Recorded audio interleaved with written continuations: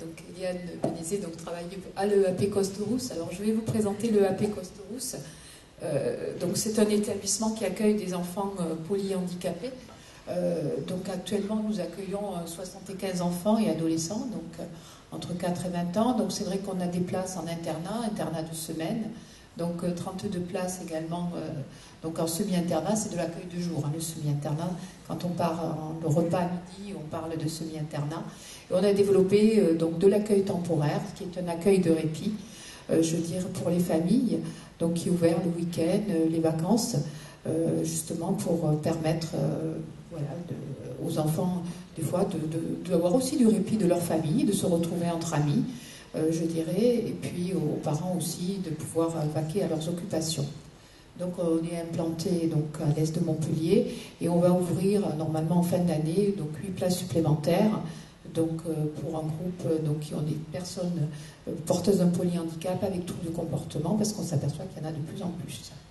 Alors la personne polyhandicapée, je vous laisse lire, je dirais, cette définition qui a beaucoup évolué quelque part. Et aujourd'hui, on s'aperçoit qu'effectivement, c'est un dysfonctionnement qui arrive très tôt, très, très précoce, euh, souvent en moins d'un an, donc qui a des conséquences graves. Alors graves dans tous les domaines, euh, qui entraînent des perturbations. Mais c'est une situation évolutive, donc euh, qui peut, je veux s'améliorer ou se dégrader suivant le cas mais en tout cas qui montre aussi que ces personnes ont des capacités, des capacités certaines qu'il va falloir développer en fait. Donc c'est une situation complexe qui enrobe vraiment beaucoup de, pathologies. Donc euh, génétique euh, avant tout. Alors là, je n'ai pas mis les pourcentages, peut-être dommage, mais euh, je dirais on est à 30% de génétique repérée, dont le syndrome de Rett. Alors c'est vrai que sur l'établissement, on a accueilli, on a accueilli parce qu'il y en a qui sont déjà sortis, au total 8 jeunes, je dirais, dont 4 sont encore présentes, ce sont des filles, je dirais. Donc on a également 50% des des personnes qu'on accueille qu'on ne connaît pas l'origine. Donc on pense qu'elle est génétique et la docteur Geneviève nous dira, mais je pense au fur et à mesure, euh, ça va se découvrir. Donc je pense actuellement sur l'établissement, euh, soit plus de 70%, ce sont des, génétiques en fait. Après on a des infections, méningites, euh, des traumatismes crâniens sur des enfants très petits, voilà. Donc, et l'épilepsie aussi, je veux dire, sur des très jeunes qui peut aussi avoir des effets très graves. Alors la conception euh, de notre prise en charge, je dirais, euh, c'est de procurer euh, la meilleure qualité de vie possible, je dirais sans s'acharner non plus, mais en permettant à l'enfant de vivre le plus normalement possible. En tout cas, donc c'est vrai que c'est basé, l'accompagnement, on s'appuie sur un travail de recherche. donc c'est vrai que je remercie justement d'être présent aussi aux organisateurs à ces journées-là. Ça nous permet de réfléchir, d'actualiser en permanence nos connaissances et nos compétences, je dirais, euh, des professionnels. Et on se construit obligatoirement, et ça c'est vrai que le docteur Pad le disait, dans une logique interdisciplinaire, et ça c'est vraiment indispensable.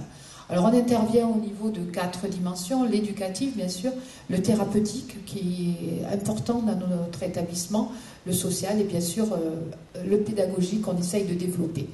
Donc on peut, bien sûr, quand on peut, on est dans les acquisitions, dans le maintien des acquisitions ou bien sûr euh, dans l'accompagnement des régressions. Et là, c'est vrai qu'on va le voir. Donc euh, justement, les apprentissages. Alors les apprentissages, pour nous, c'est dans tous les domaines, je dirais, sont possibles. Donc on essaye de couvrir tous les besoins, euh, je dirais, fondamentaux qui sont en haut, donc les besoins physiologiques avant tout. Après, on a tous ces besoins de bien-être, de sécurité, enfin euh, et les besoins relationnels et fondamentaux. Donc on essaye vraiment d'être dans les apprentissages dans tous ces domaines-là. Euh, et là interviennent différentes personnes. Euh, donc je dirais, vraiment c'est répondre à ces besoins. Donc on va le voir au niveau de l'enfant, donc l'enfant en situation d'apprentissage.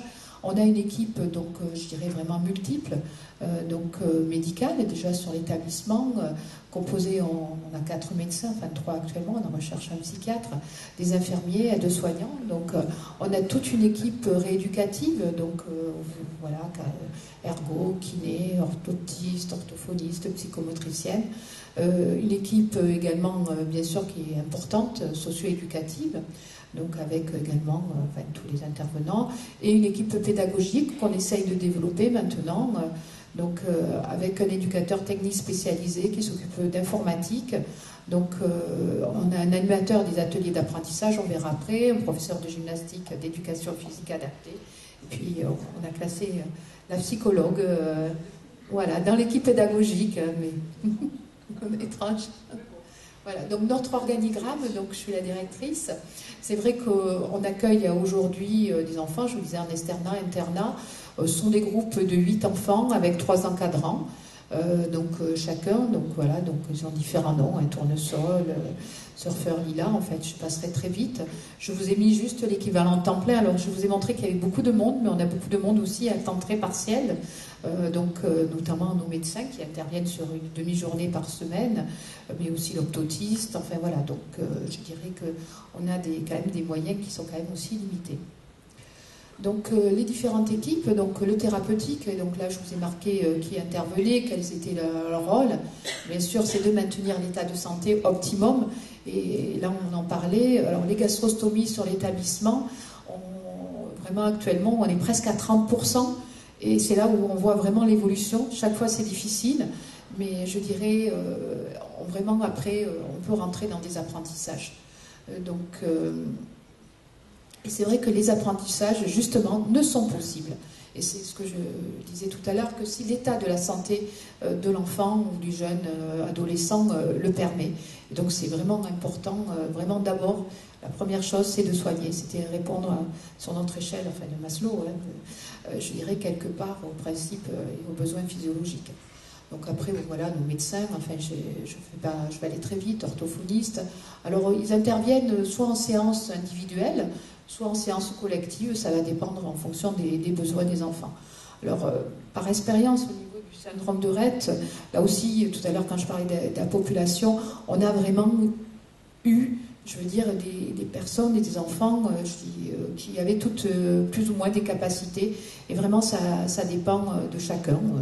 On a eu euh, des personnes presque totalement gravataires, avec des personnes beaucoup plus autonomes, qui marchaient, qui arrivaient à communiquer, qui avaient quelques euh, mots de langage. Donc vraiment, euh, là aussi, une grande variété, c'est ce qui a été dit, au niveau du syndrome, Alors la, psychothérapie, voilà, donc c'était Eliane qui intervenait donc avec un enfant. On a également la musicothérapie, donc voilà, tout le socio-éducatif. Alors les ateliers euh, sont basés effectivement euh, chez nous euh, donc sur le psychomoteur. On est dans ces apprentissages, le déplacement qui est quelque chose quand même d'important. Enfin, on a tous les petits appareils qu'elle vous a montrés. donc l'axe artistique aussi, donc qui, qui, permet aussi de développer aussi plein de choses, le cognitif, le sensoriel, la socialisation qui est quelque chose de très important et l'axe psychoéducatif.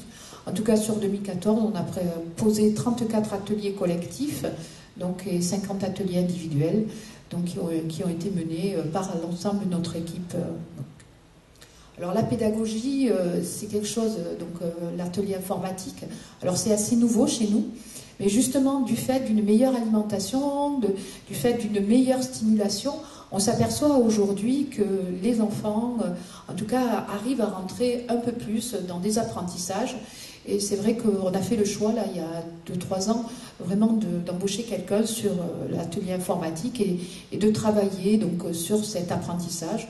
On a choisi également euh, de travailler sur des pictogrammes, sur des méthodes, donc, et notamment le macathon, qui est une méthode de communication qui est à la fois signée, parlée, avec également des pictogrammes. Et on a développé un logiciel, Locutus, justement pour apprendre je veux dire, à la connaissance de, ces pictogrammes. Alors on essaye aussi de travailler l'accès web, donc euh, avec tout l'univers multimédia. Et je dirais que le travail de la grille d'évaluation est très important parce que ça nous permet de dire, euh, on a des, jeunes qui sont complètement dans un carcan qui est le corps, mais on s'aperçoit qu'ils ont des capacités. Et là, Eliane se bat avec les équipes, euh, je dirais, quelque part, pour rappeler qu'ils ont ces capacités et qu'il faut les développer, je dirais, et, on y arrive. Voilà, donc on a l'éducation physique.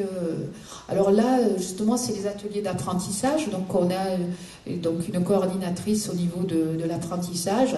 On a repéré, donc on a essayé de développer des classes, enfin des ateliers je dirais, euh, puisqu'on essaye d'obtenir un poste d'enseignant, là on se bat aussi pour ça, euh, je veux dire, sur l'établissement, parce que je pense qu'on peut vraiment développer l'apprentissage si on avait aussi la compétence. Alors on a essayé à notre niveau, donc euh, une éducatrice, de développer cet atelier et on a, on s'est essayé de s'inscrire dans le programme donc de l'éducation nationale, justement, de devenir élève, de découvrir le monde, de grandir vers l'autonomie. Et donc là, aujourd'hui, il y a un certain nombre d'enfants, euh, mais on n'est pas assez dans la répétition de ces ateliers.